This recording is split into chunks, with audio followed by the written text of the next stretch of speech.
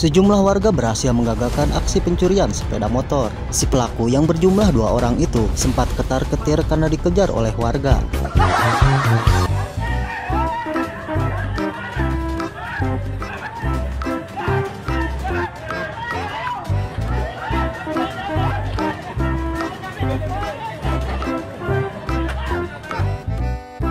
Diduga kejadian ini di Meruya Utara, Kembangan, Jakarta Barat. Dan perjuangan warga ternyata membuahkan hasil, meski satu pelaku tertangkap dan satu pelaku lagi lolos dari kerjaan warga. Abang kenal saya nggak? Abang saya tahu, saya, saya tahu, tahu nggak? Seorang supir truk terlihat marah-marah kepada tiga orang tukang parkir.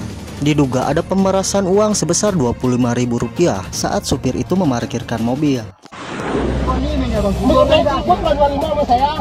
Ini kok. Ya, ngapain? 25 pakai mana? 25 ribu buat apa? Hah? Saya perlu berapa yang 100 ribu? Apa sih? Yang lepas itu masa 25 ribu? Parkir sama kebisin PK Apa?